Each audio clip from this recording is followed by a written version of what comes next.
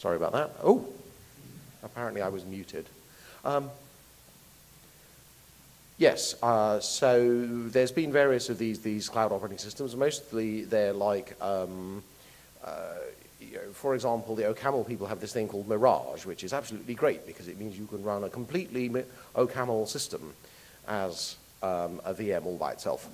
And it's absolutely marvelous if you like OCaml, and if you don't want to write your whole program in OCaml, then it's not really for you. Um, the, some people involved with NetBSD have done something much more interesting.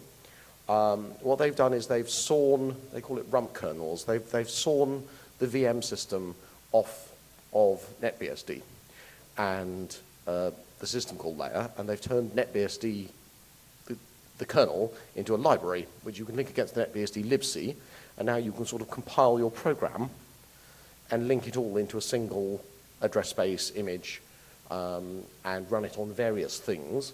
They've got a, a, Xen thing that you can run programs on. They've got um, they've got one that, that they call POSIX, which lets you run it as a process, sort of a bit like UML, only it really is a single process. It's, it's got no um, no scheduler, nothing like that. Um, so this is, this, is, this is quite good because this means you can take allegedly normal programs and compile them for this environment. But their build system is a bit bad. Um, and even if their build system wasn't a bit bad, it poses certain problems. So now we get on to our nice Debian world. So here's a, a nice diagram of some packages. You know, you, you have some source packages. I've not shown all the build dependencies um, because there's going to be no room on this slide. Uh, so we, have got some packages. You tend to have some kind of, maybe you get it from Git, maybe you uh, have an upstream tarball, you add some Debian files to it, and you build it and it produces a .deb. So uh, that's all very nice. Uh, and this is what I now need to do. So you will notice that I have got Xen in this three times. So the Xen upstream source code has to be used three times in this build process. Um, we need to build it once in the normal way to generate um, the actual hypervisor and all the things that people are expecting. And um, that build, at the moment it doesn't, yes?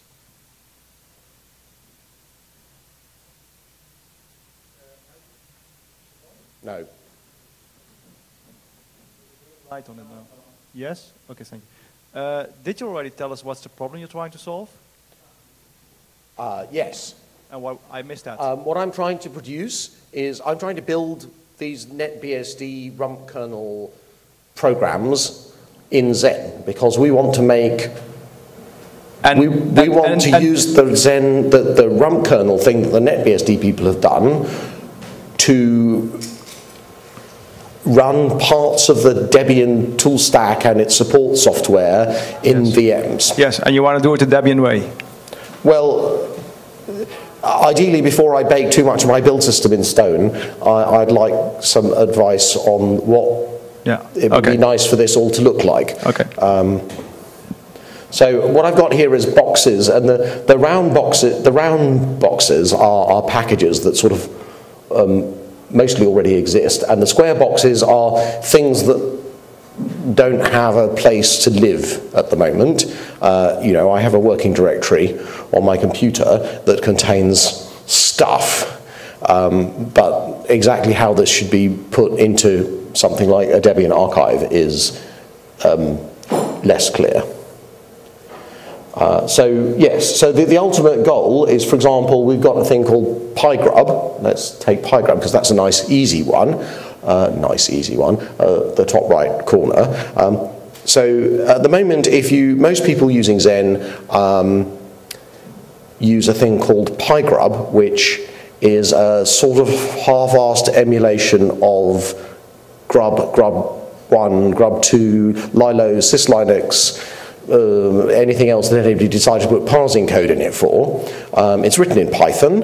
It links to libfsimage, libfsimage, which you may or may not have heard of, which is a collection of file system drivers in user space. And this runs in your master control domain, that is your, your, you know, your host VM, um, looks into the guest's file system, finds the kernel according to, you know, it may even put up, it, it can even display um, menus, um, and then passes that, that, it finds the kernel and passes it to the rest of the system for actually booting the guest. And this is not ideal because if your file system driver has some kind of bug, then that's a security vulnerability. Uh, there are also other reasons why it's, it's kind of not ideal. The, the, console handling of this weird extra process that's not running in a guest um, is a bit messed up, um, or at least complicated. Um, now, PV Grub, PV Grub 2 is going to solve all these problems sometime in the next decade. Um, but in the meantime, I'd like to do um, a, a, stopgap solution, which is, well, we'll build Python for NetBSD rump kernels, and then we can run PyGrub as a VM. And we'll grant that VM access to the guest's file system, but it doesn't need any other privilege. Provides the kernel to the tool stack, and, um, and yeah. So you see I've got this rumps xen libs and tools here. This is a combination of an enormous pile of NetBSD source code, some of which is rump kernel specific, but most of which isn't. It's basically just NetBSD. So you see I've got 64 megabytes of, of .git directory. I did this du the other day. If you unpack that, it's a, a third of a gigabyte source tree. Um, you build that against some of the outputs that you get from the Xen build system, or at least some of the outputs that you would get from the Xen build system if it bothered to ship them. Um, and then you get, uh, well, a bunch of .a files. It's all asynchronous, very confusing. Um, a bunch of .a files, a bunch of headers, a weird compiler wrapper script, a spec file, a specs file for GCC, uh, that kind of thing. Not a proper cross-build environment. We don't want to rebuild GCC because the, the, we're just targeting the native CPU here, where, but we need a completely different uh, symbol namespace, maybe some different compiler options, things like that. So then you use that wrapper script to run Python's configure. Um, but of course, you can't really, I mean, you can't do this in a Python tree that you're also building the normal way because it's a different environment. It, it's a bit like a cross build. As far as configure is concerned, it is a cross build because the executables that come out of this process are Xen guest images and can't be run as executables. So configure can't run them. Uh, so technically then yes, it's a cross build. And then, of course, we need to mix that up with the pieces of, of, of itself that come, came out of Xen. Um, now, things get even worse with um, one of our other principal targets, which is QEMU. Um, QEMU is used in Xen systems to emulate a PC. If you have a fully virtualized guest. It needs an emulated PC, and we use QEMU for that, like everybody does. Um, if your QEMU has a security vulnerability in it, then that's a vulnerability in the whole system, at least if you run any HVM guests. Uh, we don't like this, so uh, for a long time we've had a thing called, we call it stub domains, but basically you run your QEMU in a domain of its own. It has privilege to access the memory of the guest, it doesn't have privilege with respect to the whole system. So if the guest has some kind of, you know, it, it has some kind of trickery and it takes over its own QEMU, then, well, fine, that QEMU can't do anything that the guest couldn't have done itself anyway. Um, so, yeah, good luck with that. Great. Um, Unfortunately, the version of QEMU that we have managed to do this to is a decade-old fork. I'm not sure it's even in Debian still. Um, there is since then, the upstream QEMU community have rushed off and become a hive of activity, um, and they do all sorts of much better, cooler things now, and it's much less crazy. Um, and now I want to cross-build that. In order to cross-build a QEMU that can do all the hardware servicing for a Xen domain, that QEMU needs to be linked against a pile of libraries that come out of the Xen toolstack libraries, um, special functions for accessing the memory of other domains and manipulating them in various ways, uh, IPC and interdomain communication mechanisms. And those are all in Xen.git. But of course, we don't want a standard build of Xen.git. Those tool li those libraries, if you just build them in the normal way, are built for your local operating system. Whereas what we actually want is want them built against this NetBSD thing. So now we're going to have to build Xen.git again using this weird wrapper script. Um, so you run the weird wrapper script, Xen's configure, notices it's cross-compiling, you get a subset of the build deliverables out of your build, and then you have some .a files, which go together with these .a files and some include files, and then you can run QEMU's configure against the two things together, and it's almost like you're setting up a little parallel cross world. Um, okay, so I'm going to stop hand waving now about this diagram and start hand waving about what might be done. So that somehow the most official or, or, kind of formal way of doing this would be to say, well, these NetBSD rump kernels are, are, are, are they're very like an architecture. You run configure, you run make, they produce deliverables. Um, so we'll call them an architecture. Um, so that means you have a, a, a rump kernel AMD64, a rump kernel i386, a rump kernel ARM, a rump kernel ARM64. And so that's four architectures. They, would be partial architectures because only a tiny subset of the, the archive would be built. Um, here we go again. Um, and all of this infrastructure with, with four additional architectures in the archive would exist only for, really, for the benefit of Xen, which is itself just a, you know, one tiny thing in the Xen ecos, in, in the whole Debian ecosystem. So I don't think that's, that's really a sensible thing to do. Um, so another thing I thought was, so that's obviously not on. If I, if I were to try to do that, people would, would, would hate me. Um, I probably hate myself as well, so I'm not going to do that. Um, so on the other end of the scale, it occurred to me that I could upload I could cause the xen.git package to produce a copy of its source code as a, as a source deb, um, and I could probably even persuade the QEMU people and maybe the Python people to do the same thing. And then I could have some package that had all of this and a giant nightmare build script, and that just, you know, by hand did all of this stuff. And it would be sort of a bit like IA32 libs, in that anytime you wanted to add a new one of these, you'd have to go and find the original packages, and there might be a whole stack, right? I haven't got as far as compiling Python yet. Um, I've been working on, on QEMU, but I imagine that in order to get Python to work, there'll be a bunch of libraries I have to do first. Um, so I have to go to each of those libraries and persuade them to produce one of these source packages, and then add them to my giant build the world thing? Yes. And you really, am I on? Yes. And you really want it uh, to be in the Debian archive, all of it?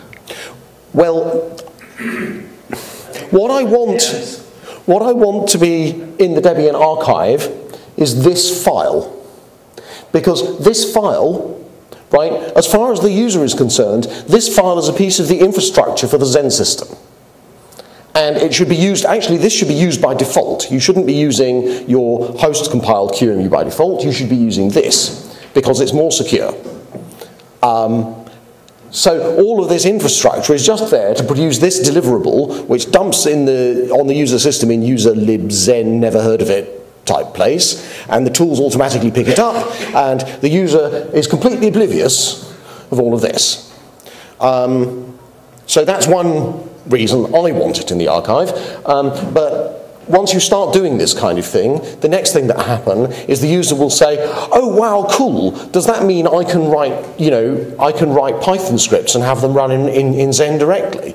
So now they want this Python run image, and they want to be able to meld it with their own, you know, Python scripts, which means that the tools that probably live in here that manage the file system image that this domain runs on also want to be delivered to the user. Of course, those are all BSD FFS. So we're going to, you know, the, the, part of this is, is, is I'm sort of taking a whole operating system and saying this whole operating system is, is just we're going to package it up neatly, neatly in a little, in a little package with not too many tentacles and, and, and bury it in Debian. You were yeah, first. So I've got pretty much the same kind of problem with uh, Windows cross compilers. So the, the, idea, the aim of the Windows cross toolchain is to end up with, the same as you with your QDM image that ends up in the Debian archive. We use the uh, Windows cross compilers to build Windows executables that end up in Debian installer, and a bunch of DLLs that end up in WineGecko that's used for wine. And like you say, once you start doing that, there are other people who say, oh, it'd be really nice to have uh, all these libraries that we could use for the with the cross compiler for Windows, and then you end up with the same kind of problem, asking people to produce source debs, or but then you get which, uh, you get pushback from the other Debian maintainers, which is perfectly sensible, and they say this only makes sense if we add it as a proper Debian architecture, and then everything just sort of falls out automatically with configure and so on because you just get the triplet and it all works. But if you don't do that, it's a nightmare amount of work with all the source packages that need to be used, and you either do it on the side somewhere, and then you can't get it in the Debian archive, or you do it properly.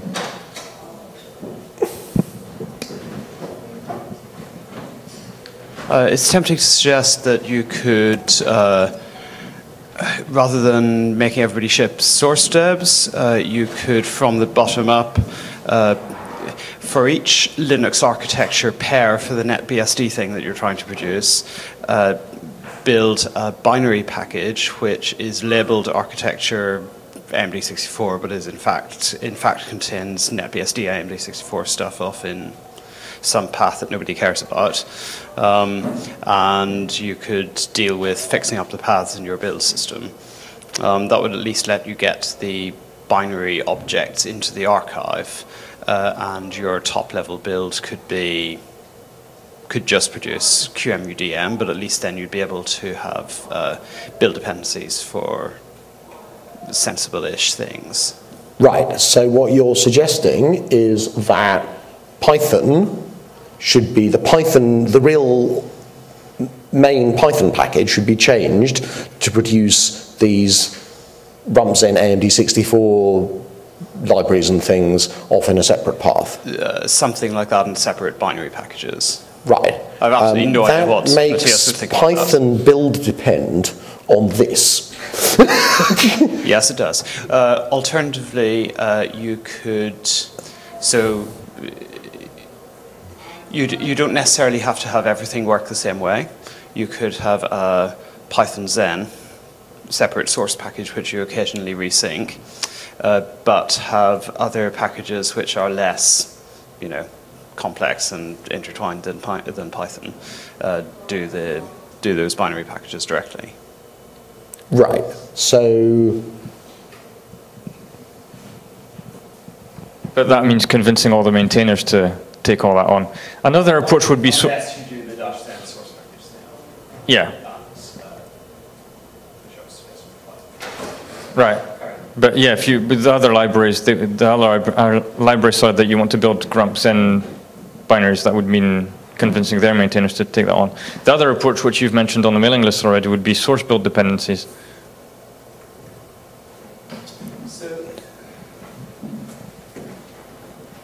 Uh, I commented on source build dependencies at the last DebConf, and I'm not sure I managed to convince Walter that uh, that uh, this was legitimate. But I don't, given that every package already requires to be able to fetch its own source as part of its build process, uh, I don't see why you can't legitimately do apt-get source in a packages build, stick it somewhere in your build tree, and then do that. You don't need to invent infrastructure for source build dependencies to make this work. In the worst case, you need to fix a couple of firewalls and buildds or something. But there's there's no reason why you can't just. Uh, What, you're just make that work. suggesting having Debian rules call out get source? Yes. Every, eh, people, people, people have a sort of, uh, some people appear to have a visceral reaction to this, but I don't see why it is illegitimate. It is allowed by the building policy called apt-get. It's not allowed to make arbitrary network calls. Right, and apt-get source is not, is obviously quite different from calling apt-get install. It just fiddles with your current directory state. Boggle. Um, that, that would certainly make all of this a lot easier. You could make a little Python Xen package that you could generate these little stub packages that would go, ah, well, I'll just get the Python source and I'll mess with its build system slightly, put my weird compiler on the path, and then I'll just build it. It'll all be fine. you, would, you would want to you would want to make sure that you're getting the versions you expect or something, but you might you might need sanity checks on all sorts of things. But uh, it doesn't seem fundamentally very difficult. Right. Um, I, I, I'm going to put in a, like a built using then, am I? Yes, uh, that's that matches the built using semantics precisely. This is a novel and radical suggestion. Uh, Thank you, Minister.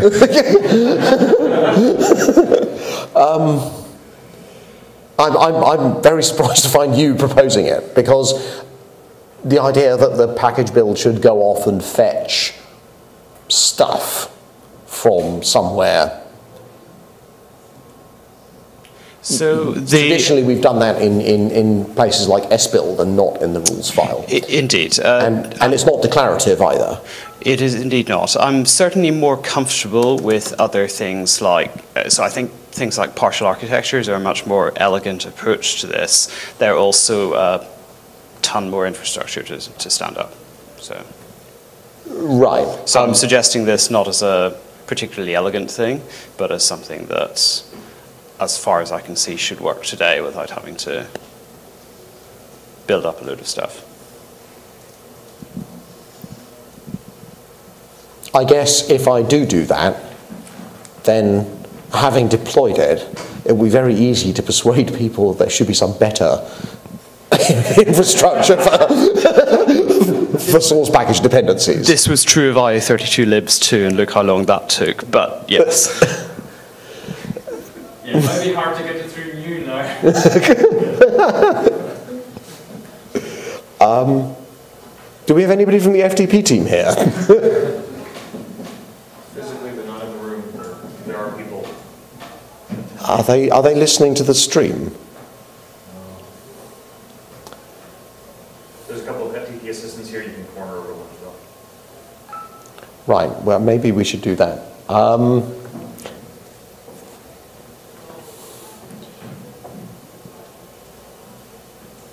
so, uh, yes. Um, So we've we've talked about partial architectures a lot uh, over over the years, but nobody's ever really got very far with them. At least not in the Debian archive. Uh, is the is the main blocker simply working out how we do a buildd that doesn't actually try to build everything as is usual? I mean-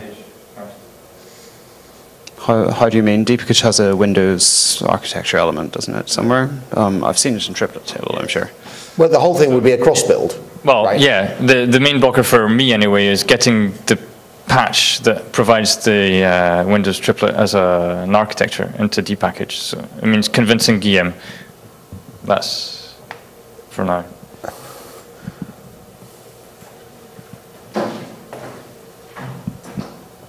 So I was going to say that in terms of actually getting partial architectures off the ground, one of the things that I think has, has always um, been a de facto blocker is we talk in general terms about how we can how we could do this, but I think somebody needs to come up with a concrete proposal and, and show that, yes, if we did this, this is the set of packages it would make sense to build and why, and, and we have a buildable closed set that it's useful to do this for that's less than, than the architecture and has some sort of a, um, a policy around it which isn't altogether arbitrary. Um, and I think if we had something defined like that, we, then you're right, we would need to have the implementation of the, the builder as well, but that, uh, yeah, it's not going to move until somebody puts together a, a more fleshed out proposal. The closedness of the set is, of course, much easier when cross-building, so perhaps this winds up effectively blocked on build profiles so that we have that more official. But uh, you know, most most of the most of the binaries we need presumably, in fact, come from some other architecture because you're using them as multi-arch foreign things and, and cross-building. Right. Um, I'm, I'm- I mean, if you did this, if you did this as a partial architecture, I imagine it would be like a little multi-arch stub thing. But you, you, you'd have to make sure that nobody thought it was a good idea to install a, you know, the the, the Python rumpxen AMD64.deb is not really usable as a uh, for satisfying multi-arch cross dependencies. Well, this is Python NetBSD ARM64, isn't it? Or NetBSD something. Is that right? Well, it's the the thing. You know, the actual Python file that, that's got the Python code in it um, isn't okay. It's an ELF, but it's a compressed ELF kernel. Um, and to execute it, you feed it to the Xen tool stack as a, as a, as a, as a kernel image, and you can't, you know, you can't run it, use it to run Python scripts on the host. Right. So that that is not a that is then not a Python 2.7.deb. That is Python 2.7-stubdom or something .deb. Uh, you know, the, the, it has different semantics. It deserves a different package Right. name regardless of what you do. The uh, presumably this would be not too terrible for the Python maintainers since they wouldn't actually build this normally. It would be a thing in their control file with an architecture field that caused it not to actually be built for anything useful. Right. Um, I worry, though, about wrinkles.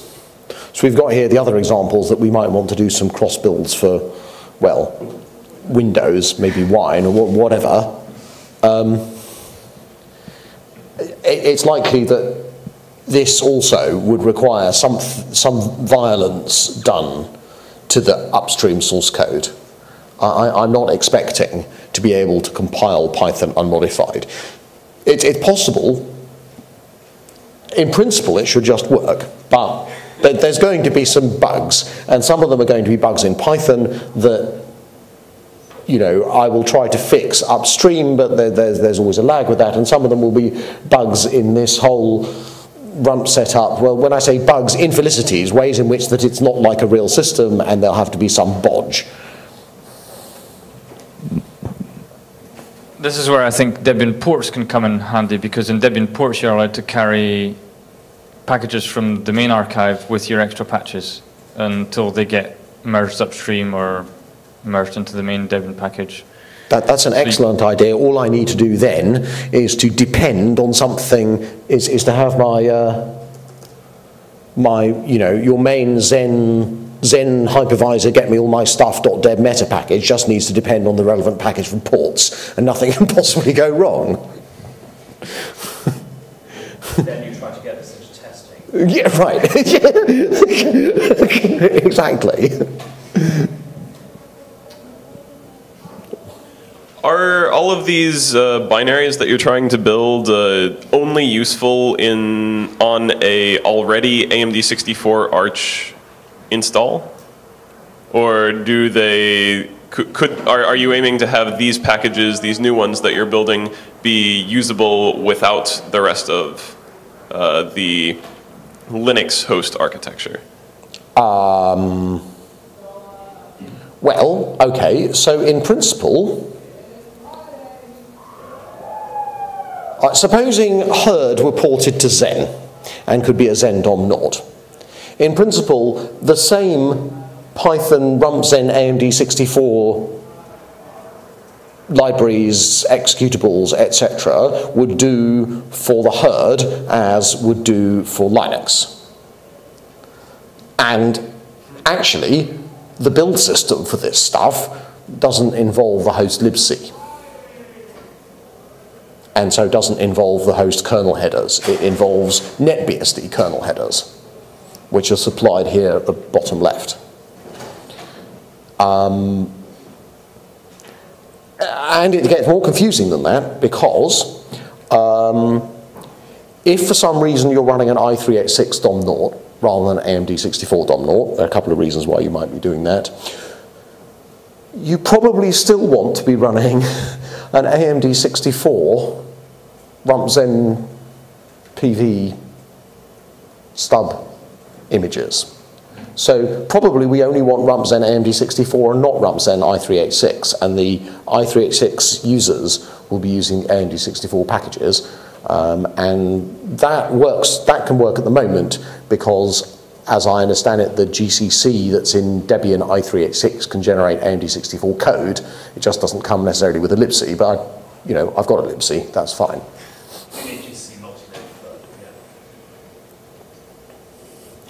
Um,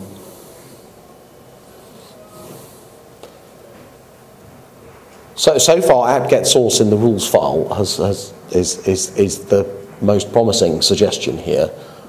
Or go around all the packages persuading them to use a source package deb. One other option that you could consider that would probably be a lot of work uh, would be to have your uh, rumpxen dash every one of the packages that you actually want to be available here under each one of the architectures, which is kind of like what Fedora does for their MinGW toolchain. Sorry, I'm not sure I follow. Um, so on Fedora, the MinGW toolchain is uh, MinGW32-GCC, and then there's a huge slew of libraries that are the Windows binaries uh, that you could use to link against. Uh, if you want, say, SQLite uh, for right. uh, Windows, then th there are a collection of MinGW32-SQLite uh, packages. It sounds like this is kind of analogous to what you're trying to do here. You have a bunch of rumpxen binaries that you want to put together uh, and possibly libraries that they share except they are only shared at build time. Yeah. So yes, it's kind of a mess. Source packages, which are the same thing with the prefix. Right, right. I mean, I could. Uh, that that's another thing that I could try to get through the FTP team. Yeah. Binaries are arch all as well, because because it has a foreign arch inside it, right? it's arch all in the sense which solves the Not arch any. Yeah. Yes.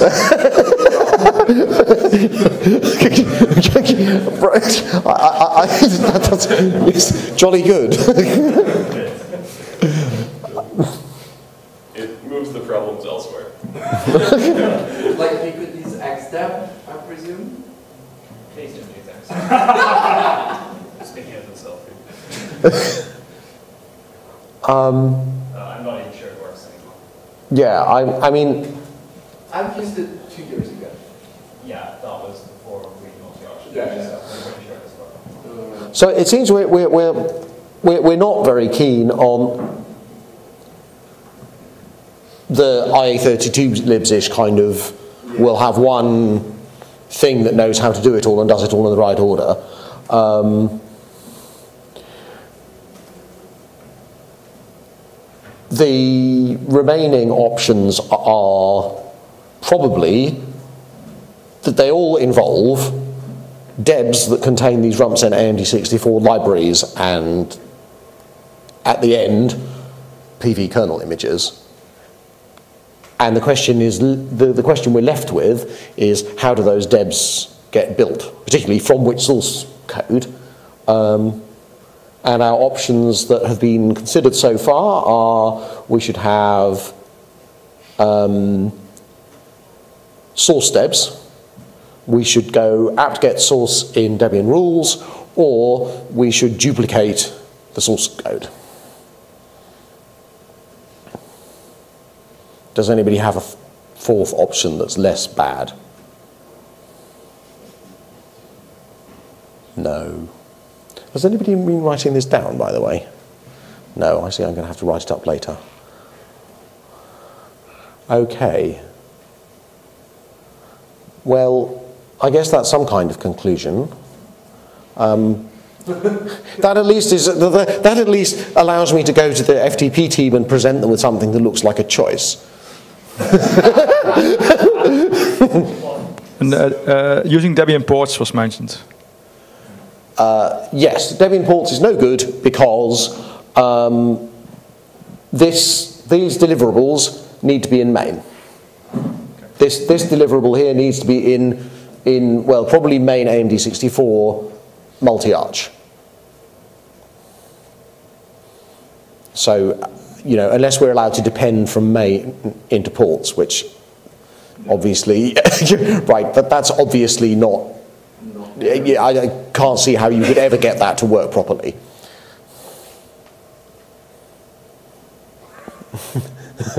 well, you just ship an apt sources the snippet with your with for its key and.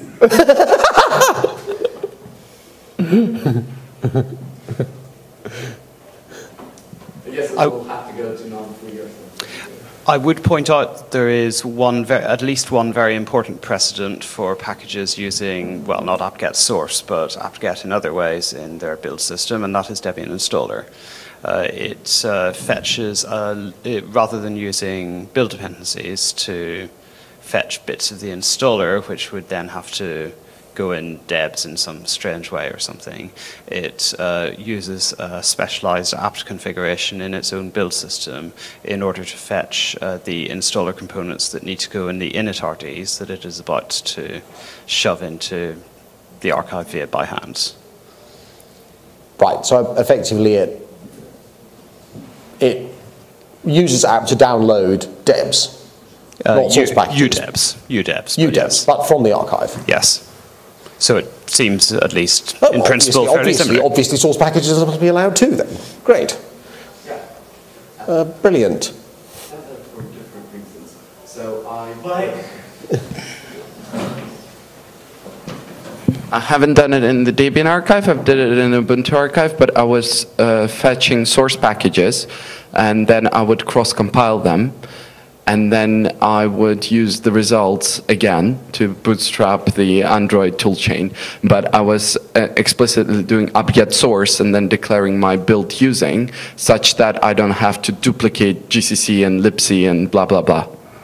This way, I essentially was built depending on a source package. Okay, uh, which, um, which source packages contain the apt-get runes so that I can... Uh, I, I can send you an email. I'd, be- Okay. I'll send you an email. Great.